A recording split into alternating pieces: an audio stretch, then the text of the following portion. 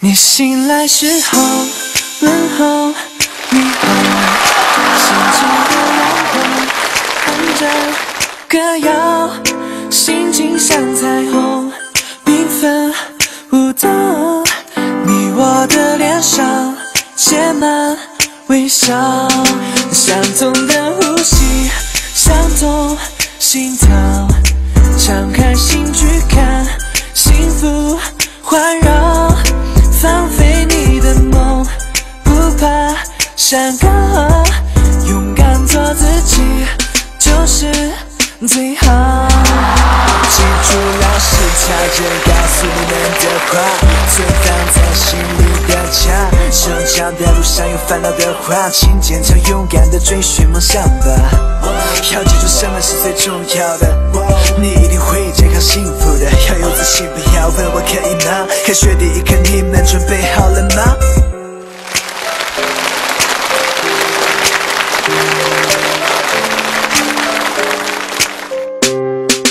成长的路上总有烦恼，与伙伴一起爱的拥抱，校园的花草一同唱歌。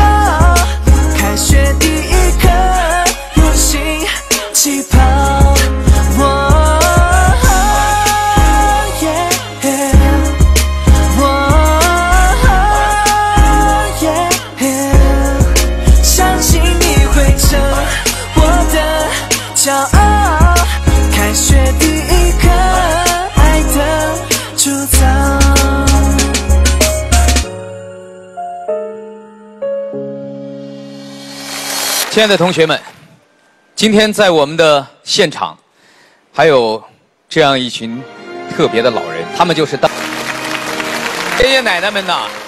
可能对你们来讲啊，都不应该叫爷爷奶奶了，这应该都是曾祖父人啊，听力都不太好，所以你们的掌声啊，必须得热烈。随着时间的流逝，七十年了，我们要挖掘这些抗战老兵身上他们传承的抗战精神。身为年轻一代的中国人，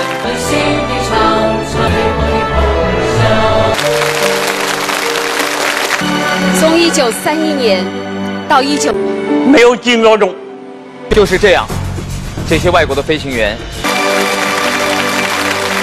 我叫人呢，我身上您开始。我叫小杨，多大年纪了？我七十六，我八十六，八十六了。您看着就像七十六，多大年纪啊？十二岁。把祖国建设好，把你们当年付出的青春和热血换来的和平，我们守卫。您您不别不不站起来了。没有关系，站起来吧。哎呦，八年十月，我十二岁，我就参加了部部队，是警察局。您给大家做个自我介绍。我您就坐着吧，坐着吧。我们的老先生们都坐着吧。我姓徐，我叫徐博洋。征军，然后飞跃的是驼峰航线，到的国外打日本鬼子。呃，您就喝？哎，我也是一九四二年呢。你是做什么去的？你们的开学第一课转到爸爸怀里。